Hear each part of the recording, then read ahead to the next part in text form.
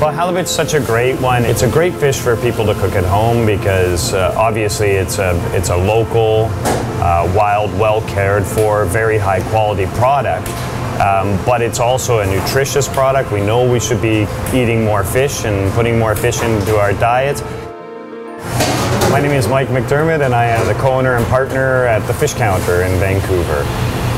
Well, for me, Pacific halibut is, is really, and has been for the longest time, been really a, a model fishery in terms of, of effective and sustainable fisheries management.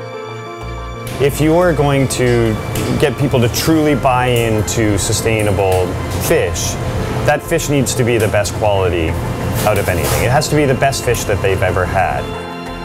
There's a direct relationship between how environmentally responsibly, how much care and intention the fisherman is putting into that, and the quality of the end product.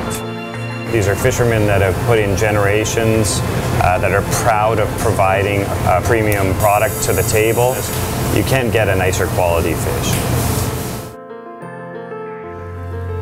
Well, I've been doing it for 33 years, and it's I think it's uh, it's something that you can be proud of if you're a halibut fisherman because you've done a good job and it, it shows. We are looking after this resource. You can wake up in the morning and go, you know what? Our fish look unreal, and all I can see is this thing getting better, and we did it. You will not find a better product than what comes off of a British Columbia halibut boat. It's absolutely the top notch.